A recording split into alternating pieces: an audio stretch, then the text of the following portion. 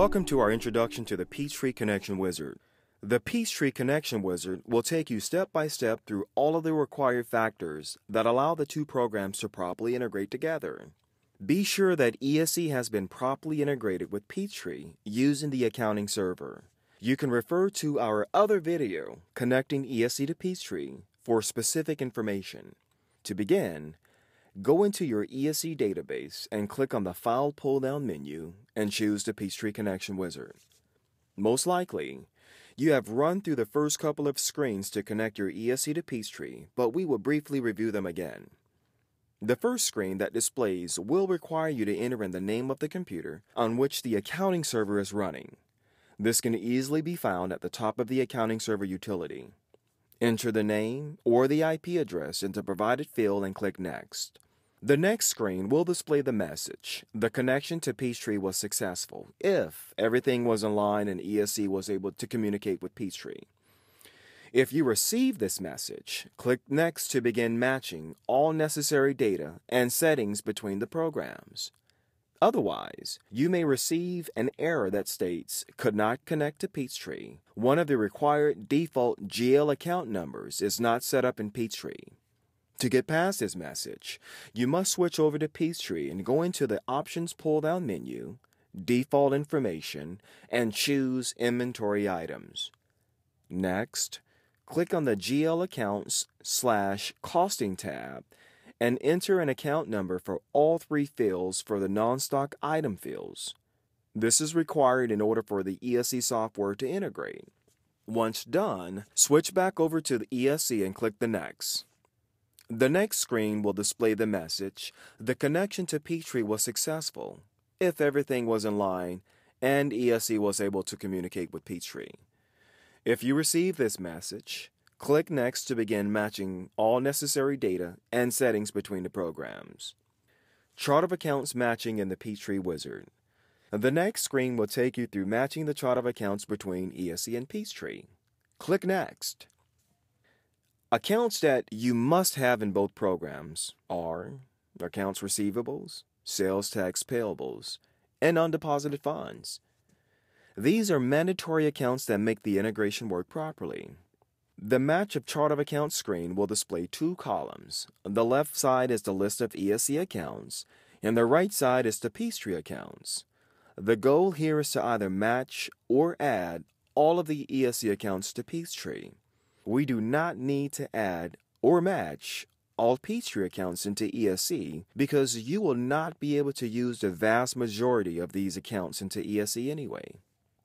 So, Starting with the ESC left side of accounts, select an account and, if the one you want to match to already exists in Peachtree, click on it within the Peachtree list and then click on the Match button between the columns.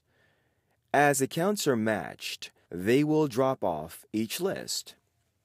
If you have an ESC account that does not exist in Peachtree, you can add it by selecting it and then click on the Add Account to Peachtree button at the bottom of the ESC column. Repeat this process until the ESC column is blank and no longer contain any accounts. Select any accounts you need from the Peachtree side and click on the Add Select Account to the ESC. Account numbers in ESC are inherited from Peachtree whenever the accounts are matched together or whenever an account is added from Peachtree into ESC. Again, remember, you should not add all of your Peachtree accounts into ESC, as you cannot use most of them in ESC, and adding useless accounts will slow down your posting routine. Once the ESC side is blank, and all needed accounts from Peachtree have been added to ESC, click Next. Matching vendors in the Peachtree Wizard. Click next at the Synchronize Vendors between ESC and Peachtree screen to allow the wizard to compare vendors list. The matching screen is similar to the screen for the chart of accounts matching. The goal is also the same, to match or add all vendors that exist in ESC to Peachtree. You do not have to add all vendors that are in Peachtree to ESC if they will not be used in the ESC side. Based on your integration setup, you'll be presented with one of the four scenarios. If you are using ESC for the first time and haven't entered any vendors, then all you have to do is click the Import Vendors button and ESC will get all of your vendors from Peachtree. If you have vendors only in ESC but not in Peachtree, there would be just an Export Vendors option to click on, which will add all ESC vendors into Peachtree. If you have one or more vendors in both ESC and Peachtree, then you'll be able to match the ones that are the same by selecting them from each column and clicking the Match button. New in version 12 is the Add All Remaining button that quickly adds all unmatched vendors to the other program. Click Next when all ESC vendors have been matched or added to Peachtree. The next phase of the integration wizard involves matching or adding tax codes between the programs. This is the first of a two-part process with the first part comparing the tax codes within ESC to what is in Peachtree.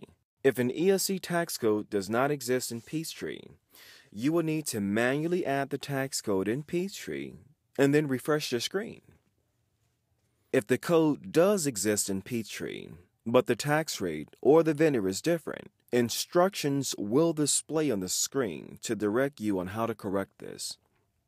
Once all ESC tax codes are either added or matched to Peachtree, click Next. This part of the tax code matching will allow you to import tax code that exists in Peachtree but not in ESC. For each tax code to import into ESC, you will need to select the appropriate sales tax account that you want the sales tax to be sent to in Peachtree. The sales tax payable account is typically the account that is selected for this purpose. Continue to add tax codes that appear in the list. Once all tax groups are matched between the programs, you will be able to proceed with the integration process. Click Next.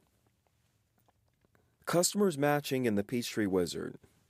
Click Next on the Synchronize Customer between ESC and Peachtree screen to begin the matching process. When integrating an existing Peachtree database to a brand new ESC company, if there aren't any customers entered into the ESC database, the integration will allow you to import all Peachtree customers. Note, once an option is selected here and the import occurs, the process cannot be reversed without creating a new ESC company database to use. Now, if your ESC database has even one customer that was entered, you will not get the option to import all customers. Instead, you will have the option to add or match customers from either side, as you could with the chart of account and vendor matching screen. When there are just records remaining on one side or the other, you can then click Add All Remaining to add the remaining customers easily to the other program. It is not necessary to match all customers, and if you have a lot to go through, you can do some now, exit out of the wizard, and resume it later. Synchronize jobs in the Peachtree Wizard. If you are using job IDs in Peachtree to track your income and expenses for each project your company undertakes, then the next part of the wizard will allow you to import those jobs into ESC. Simply click the Import Jobs button. However, this is optional, which means if you are using jobs in Peachtree but you do not want to import them into ESC, you can press the Next button to bypass this process. Once you are complete with the importing of jobs, Click Next and you will be able to import inventory items from Peachtree into ESC. Two things to note about this screen.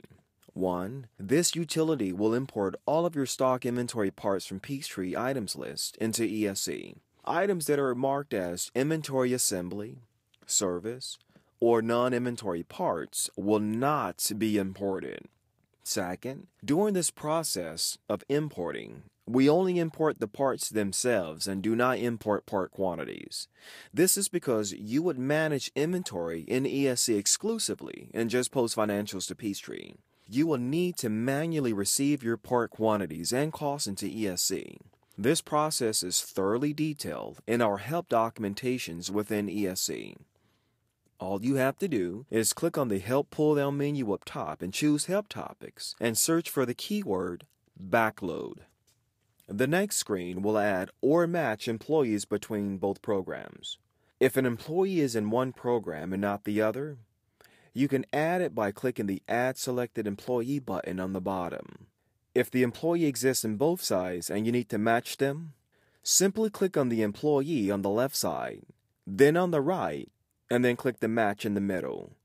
When matched, the employee will drop off both lists. Again, this is the same as the chart of accounts, vendors, and customer matching screens. If there are no employees in one program, you will be able to import the entire list from the other in one easy step. After employees are matched between programs, you can use the Post Time to Payroll feature in ESC that allows you to post dispatch time information to the timesheets for use with Peachtree Payroll. This post time to payroll process is explained in great detail within the ESC help system. Congratulations! You have now completed the Peachtree Connection Wizard. For more information on ESC's integrations with Peachtree, please continue with the tutorial videos in this section.